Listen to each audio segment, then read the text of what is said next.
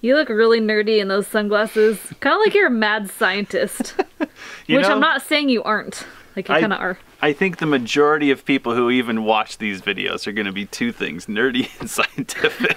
I don't think your average stay-at-home mom gives a crap about battery acid, to be Probably frank. true. Thank you. That's a compliment. That means I'm on the right track here. You're All right. welcome. I'm, I'm in my element. I've always liked the nerdy guys, so Ooh, ooh, guys, pay attention here. You Yeah. gotta get this going on, this going on. You, you need battery acid. Yeah. You need Arm & Hammer batteries. Chicks dig this stuff. Pay attention here. All right, video number three underway. Really quick recap. Video number one, which you can watch over here. We are trying to restore our battery bank. These are used batteries. And in video number one, I had a hypothesis that the first problem I needed to solve was getting the specific gravity of the electrolyte up. So I began by swapping out the battery acid, which I did do, and it resulted in a positive change in charging and voltage in one battery. The problem was I didn't know how to test whether I had really made a positive gain. So video number two, I'll link to it up here.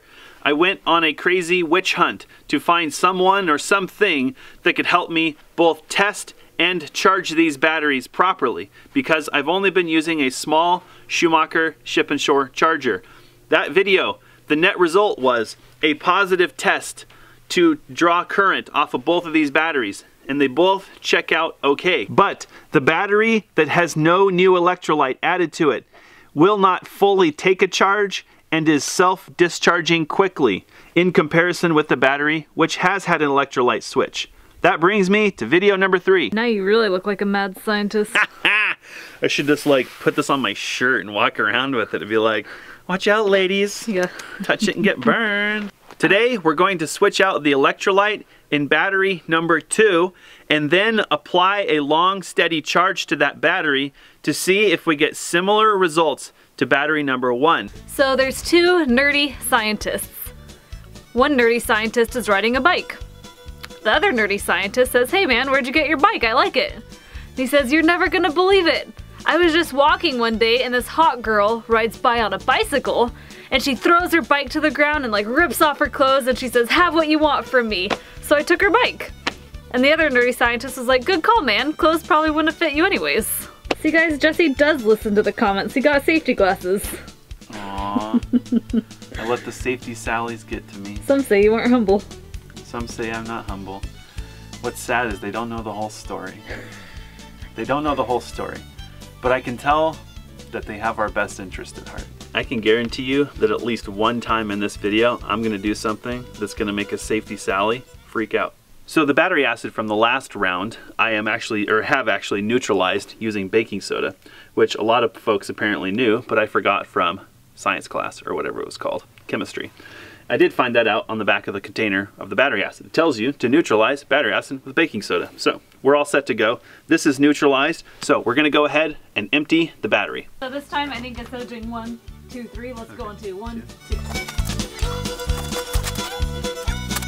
I kind of feel overwhelmed when you talk about batteries, even though I've been listening to battery talk for a while. Is that pretty normal? You should see me when you talk about babies. Yeah.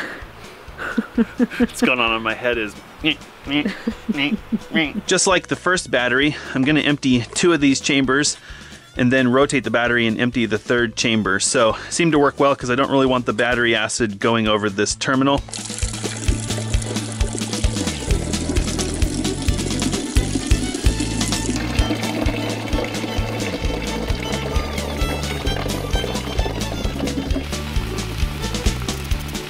So that really kicked up any residual baking soda I had in the uh, bucket before, so I guess that's just good to know. All right, and now for the third and final cell.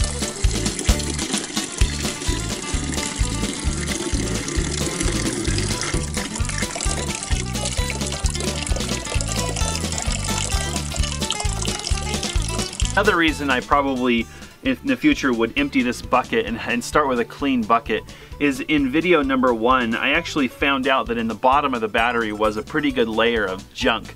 Um, so I can't really tell what came out of this battery because I kept just putting other acid on top of the other one. So I guess in the future I'd probably start with a clean empty bucket. Thing is you put it down in there now you got yourself a whole headache of problems. So don't do that, right? I think hands down I prefer just wiping it with water. I don't know this just creates a mess. Now I've got a mess to deal with. So, so in video number one, I found out that the capacity of these L16 interstates is actually just shy of a gallon and a half. So this battery acid quantity is perfect. Has a small uh, feeder hose and we need to snip that off really quick and then we can get to putting it in the battery. All right, let's go ahead and fill these one at a time. And this packet's actually pretty easy to use because of the filler hose. Um, and our goal is actually to fill only to the top of the lead plates. Because this acid is not charged it's going to increase. As the lead plates charge they're going to release their acid back into the cell. And if we put too much acid in we'll get overflow.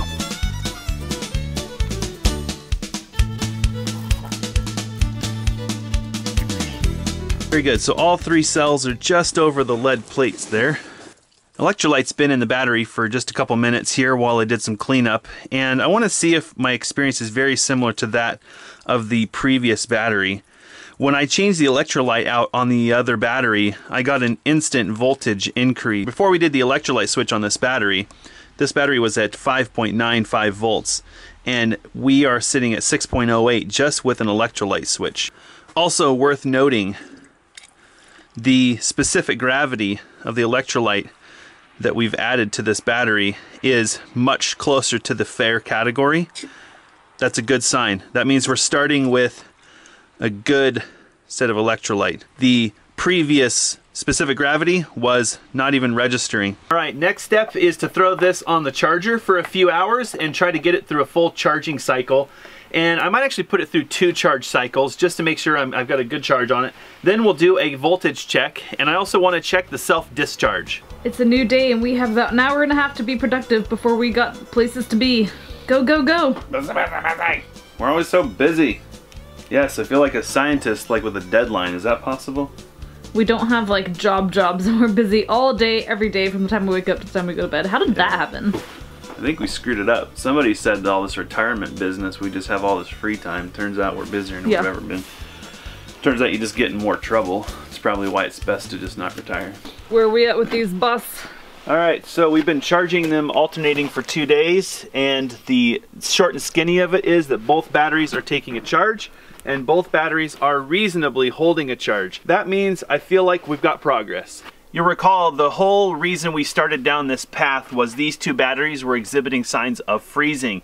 The last two nights we have been in single digit Fahrenheit weather and it has not been above freezing for three straight days. And these batteries are not exhibiting any signs of freezing. The acid that I removed from the batteries, on the other hand, is a block of ice. I've all but given up on the idea of trying to charge these batteries with distilled water in them because I don't seem to be able to locate a charger that's affordable that can do this task. So for now, I'm just gonna skip that and I'm gonna try to move to equalizing these batteries just to see if that uh, gives us any kind of measurable improvement in their performance. Today, this morning, we're gonna throw these batteries in the battery box and connect them up to the inverter so that we can run them through an equalized cycle while we're doing other fun stuff today.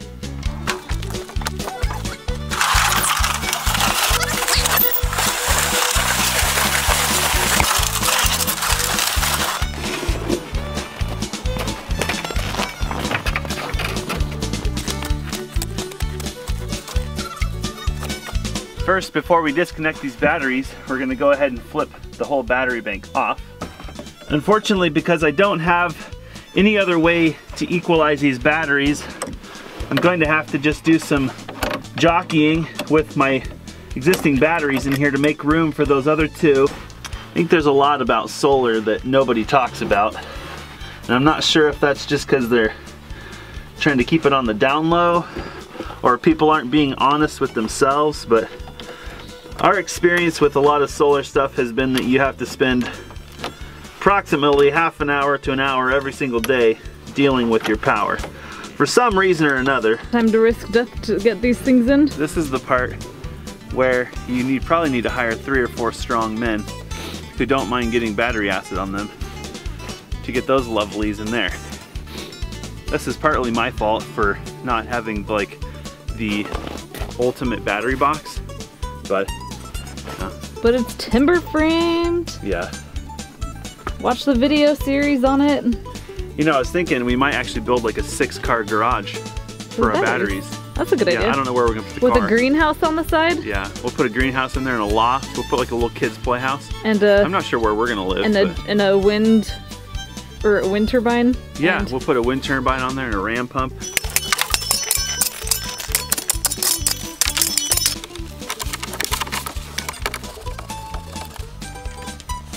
A lot of planes out there today. I hear the sun brings out the pilots. So hopefully the airport will be busy and there'll be lots of planes to look at. I think that's your instructor flying over you, making sure you're getting ready so you won't be late. You know, he did say that he does buzz bomb uh, students when Yeah. they haven't flown in a while. And I asked him if that was a guerrilla pilot school tactic, and he said yes. All right, cable switcheroo is done. Battery bank is on. Current, amps. Yep. This should drop to zero. Okay. If it's when it's not- open. Right. It's not open. Okay. As soon as I close the circuit, if we're getting solar, Yep. you're gonna see the current start to come back up. Okay. So you need to always check this. Don't always just trust that the breaker's Right. open. Right, let's see if the inverter will power on. Looks like we're getting some initialization. It says it thinks the batteries are pretty dead. I think for today, because of the equalization, I'm gonna go ahead and turn off our entire grid. So I'm actually gonna power everything down. So now there's no load on those batteries at all. Starting at around uh, 11.95 volts, we're gonna run this guy for a while and run it through an equalize. We'll check back in a bit. So for some reason, this charger jumped straight to absorb charging, which isn't even remotely close because I know those batteries are around 12 volts. So let's see if we can force it to start over. So I guess I'm continuing to have problems. Doesn't want to bulk charge the batteries. I'm gonna go ahead and set this to equalize and we'll just see what happens. With this inverter, we actually have to turn the equalization mode on manually. All right, so now it's set to equalize. It'll go through a full charge cycle, then it'll go to its float stage and then progressively bring that voltage up to between 15 and a half and 16 volts over several hours. Look who came out of the trailer to enjoy the sunshine. Hey, Bugaboo. Hey, Bugaboo. Oh, I have to mark my territory. Oh yeah. That's one. Pick it up and I'm gonna pet it. I'm gonna pet it in the sun. I'm gonna pet it in the sun. There you go. Hold it up a bit. Petting it in the sun. Alyssa is gonna jump into Master Gardener's class today. Yep. Her second round this week. What happened in round one this week? We learned how to clone plants by getting cuttings. So our speaker brought in some geranium plants and I confidently took a cutting off of it in attempts of growing it. Only we don't really have the space. We can't really grow things in our trailer because there's no light in there and the artificial light isn't very good. And I left it in the cabin even though the wood stove was on, it froze in here. So I'm pretty sure I already killed my plant. Cue the funeral music. Are you gonna have to tell anybody at Master Gardeners? I'll probably tell people, or maybe I'll bring it in just to see if it could be saved. All right, so we wanted to test whether or not there was a surface charge on the batteries. So what we did was we disconnected everything and then went, went ahead and put a load on the batteries. And we dropped all the way down to 11.3 volts in about 20 minutes. So what we're doing now is we've dropped the charge rate on the inverter charger to 30 amps total. We had it set to 80, which is probably a little high for only two of those L16s. And we've now plugged it back in and set it to charge and it does look like it's going through the bulk charging phase even though it still looks like it's going a little too fast. If you get the feeling like we're getting nowhere, that's about what's happening. So in about 30 seconds we went from 11.3 volts to the absorb phase of charging, which if you know anything about solar, it's not good. We've got other things we're going to do today, so I'm just going to let this thing run. We'll check on it when I get back, which will probably be well after dark. So it's about midnight and just getting home from doing other crazy chores around town and wanted to check on these batteries. And so uh, Alyssa actually got home earlier around 6 o'clock. So the generator had been charging those two batteries for around 7 hours and um, she said everything looked good, voltage was good. Um, so I had her turn the generator off and just run them under load for just a little bit to see what would happen, hoping that the batteries had responded well to that nice long charging session. And it turns out they didn't do well at all. Within an hour, the voltage on the batteries had dropped to 11 volts from what appeared to be a full saturation charge. So that's not good at all. Uh, since I got home so late tonight, I ran the generator for around two hours to just put a little bit of juice back in them. It's really cold tonight and I don't want those batteries to freeze. So I'm gonna leave them out there tonight and just to make things work what I did was I wired them back into the battery bank so now all eight batteries are just wired together for tonight so it looks like we're going to be struggling with minus temperatures again. I think in that last clip I was a little delirious, probably because I was extremely tired. So this morning, taking a look at the status of our battery bank, looks like our batteries are holding an okay voltage. So I guess I'm just going to spend more time diagnosing this stuff. Guess we'll take a look and see where those batteries are this morning after they've been tied into the bank all night and we'll see what we want to do as a plan of action for today. Last night when I tied the batteries together, our bank was sitting at around 12.3 volts and overnight with the heater and fans and everything running, we've dropped down to 11.83. I'm going to go out and actually do an individual voltage check on those batteries and see if they've come up at all, if they're stealing voltage from the other batteries in the bank. I could totally see how it could snow 7 inches because it's only been snowing for about an hour and we have an inch it's coming down pretty good. Yeah. So hopefully that means we get to try out the snowplow. That'd be awesome be fun. Yeah. This is why nearly every video we do that spans more than about an hour, you see about four different seasons. Totally. Because you never know what the weather's going to do. No one likes boring, though. You and think here isn't boring. Oh, I'll finish that video tomorrow. It'll be fine. Oh, there's six inches of snow on the ground. and it's nighttime. And I have to shovel the driveway and do a bunch of other yep. stuff. Did I forget to mention that you also have to clear the solar panels. All the solar panels. Oh, you wanted to get solar while it's snowing. Oh, yeah, that doesn't happen. Hey there, batteries. Haven't seen you in a couple hours. This looks like somebody wired it together at midnight at know, two right? degrees below zero. Looks yeah. like a rat's nest. That was fun. So we're just checking the voltage of each battery. Uh huh. I just want to see where they're at in relation. This battery doing the best of them all, ironically. Huh, this one. That's good. So I'm freaking confused right now. Because so it's almost as if those batteries are fine. They're not bringing down the bank. It's almost like the inverter charger isn't doing its job. I don't know. I was gone uh, yesterday and I don't have time to sit around and play cards with my inverter charger because I have a life. And so I don't know what happened when we were gone. It's very possible that the inverter charger had a little hiccup or bobble or something. And so instead of fully charging the batteries, it decided it would just go to multi-stage, right? Go to float and just sit there all day. Yeah. Which is never going to get these batteries charged. I mean, in theory, at that charge current, it should take probably, I don't know, seven hours to charge them. You're telling me that when you got home, you turned the generator off, which puts it on battery load, and within an hour, the voltage is down to 11 point something. Yep. Well, so also the generator was running for at least eight hours when we were gone, and when we got back, it was still running. And if it was working hard at all, it probably would have been out of gas. Yeah. Therefore, it probably wasn't working very hard. You have to become a battery babysitter, plus an inverter charger and a generator babysitter. Fun job, right? Only when you babysit batteries, they're not going to take care of you when you're older and change your diaper and stuff. No. So you're really not getting much of your investment. But they charge your iPad, and that's kind of the same thing. I guess I'm just running into all kinds of like confusing stuff about these batteries. I don't, I don't, even know what to do at this point. I feel like I'm gonna have to like rewire a bunch of stuff. What I wanted to do was was charge these through an equalize cycle twice, and then let them sit, and just see if I could, you know, see any measurable difference in the ability for them to not self discharge. Um, I guess I just don't have time. I don't have time for that. No, there's no. I don't. I don't even know that that's ice. That could just be something like a film. It could just be a film floating on the surface because it looks very liquid to me. The takeaway is that these batteries have been sitting out in at or near zero degree weather for three nights and well below freezing weather for four days. and they're not frozen. So that is progress. It's hard to tell at this point because I didn't at midnight want to deal with all this garbage. I want to go to bed. Whether these batteries, the two that I've been working on, are just stealing juice from the rest of the bank and bringing themselves up, bringing the rest of the bank down.